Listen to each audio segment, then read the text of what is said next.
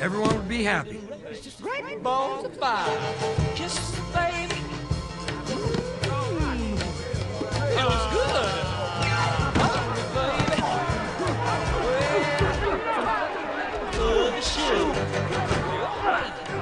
More balls.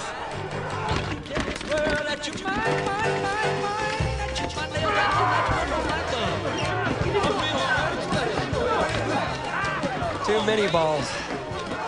Hey, Earl. Your ex-wife and current brother are here to see you. They, uh, they look mad.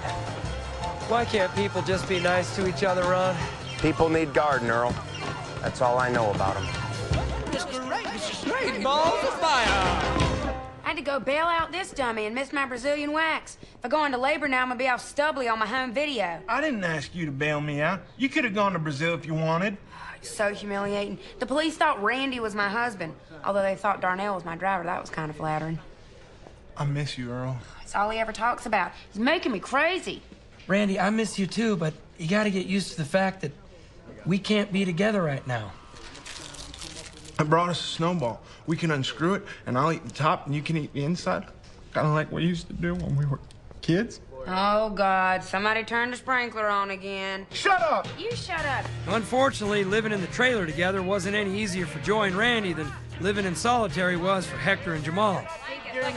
Knock it off! Both of you. Randy, I want you to look at Joy and find one nice thing to say about her. Go on. Well, I suppose she does have a nice rack. Was that so hard?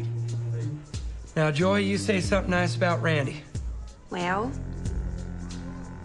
he has been remembering more to flush the toilet, especially after a big job, I'm trying. and I appreciate that. It was working, and suddenly I had an idea.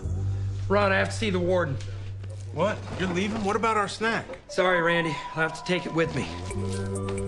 Is that a snowballer? Sure is, huh? Oh, I love snowballs, especially the top part. Really? Because I only like the insides.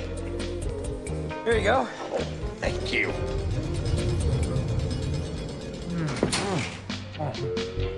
Stupid bad guy zookeepers eating my snowball. The warden was happy to let me use his office to try my experiment. Mostly because it meant he could leave and go see a movie. Thanks for agreeing not to kill each other while we try to work this out. Now, Hector, I want you.